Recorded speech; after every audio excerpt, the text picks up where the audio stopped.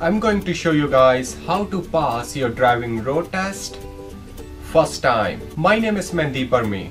I'm going to share with you my secrets on how to pass your driving road test the first time, no critical errors. So stay tuned.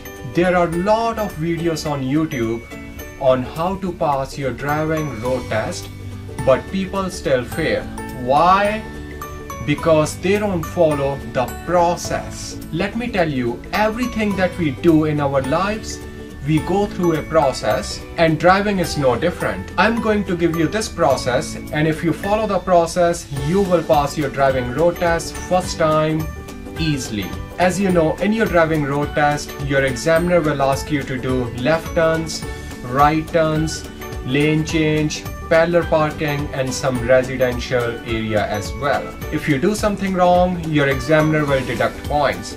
Now some mistakes, they are general mistakes and some mistakes, they are critical errors. But if you follow my process, there will be no general errors and there will be no critical errors in your driving test and you will pass with a big smile on your face. So let's look at this process. We are going to divide this process into three different steps. Step one is you will ask questions to yourself. Step number two, based on your experience and knowledge, you will answer those questions.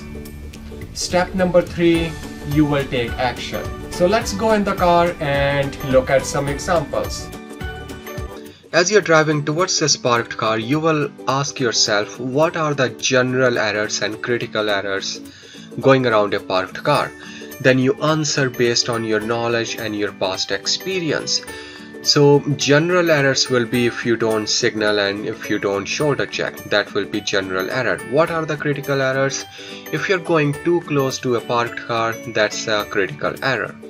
So in order to pass your driving test the first time, we will signal left and we will also do left shoulder check and we will also maintain at least 3 to 4 feet distance from the parked car so we don't get any critical error. In this situation here we also see there's oncoming traffic there is a white car coming from the front.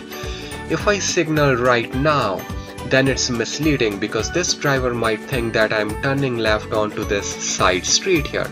So that means I have to wait and when I'm halfway through the intersection that's when I signal and shoulder check. So now I signal left, I shoulder check and then I go in the left lane, maintaining my distance from the parked car. After, after that car I pull back to my side. Now I see a stop sign coming up, so I ask myself again, what are the general errors and critical errors here? Now the general errors will be, let's say your, your examiner asks you to turn left.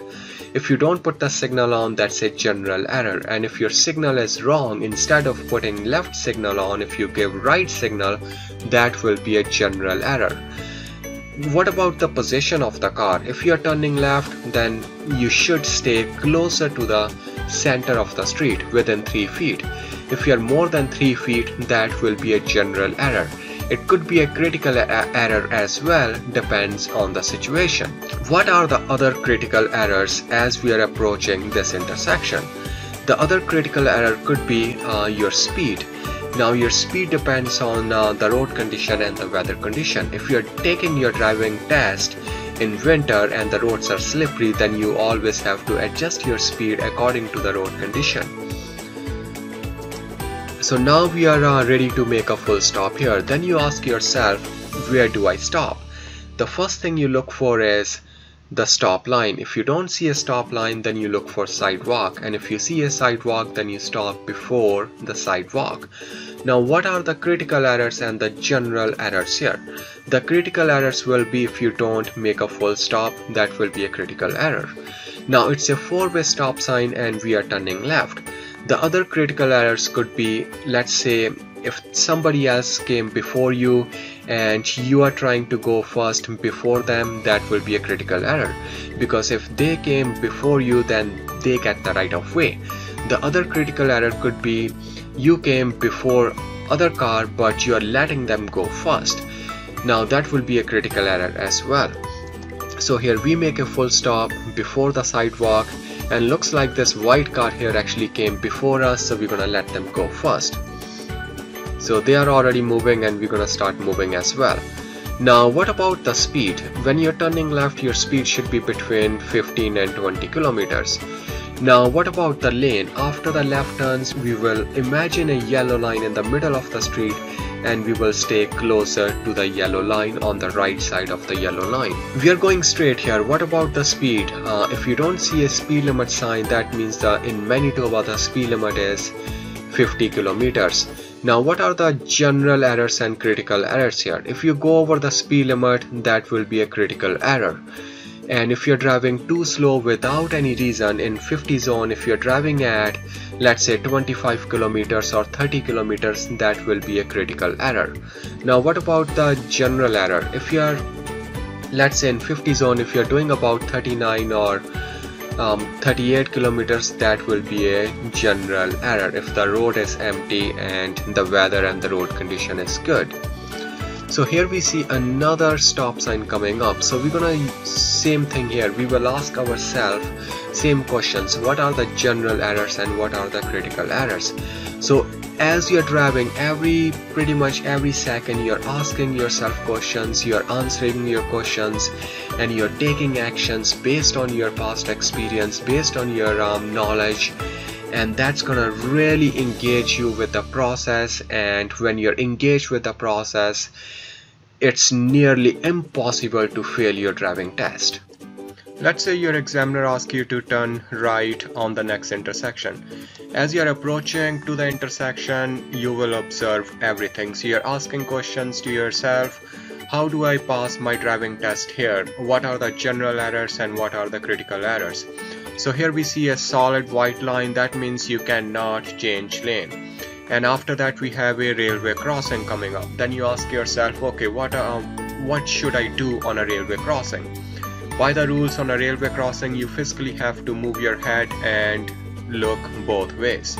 You can also cover your brake so you slow down a little bit. Now we have a right turn coming up. So what are the general errors here and what are the critical errors the general errors will be if you don't put the right signal on. That's gonna be a minor mistake.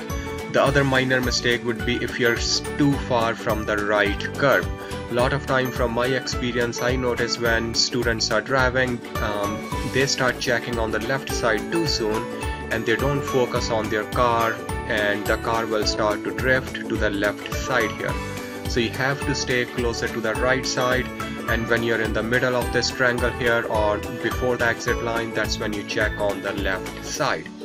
Then you ask yourself what are the critical errors in this turn?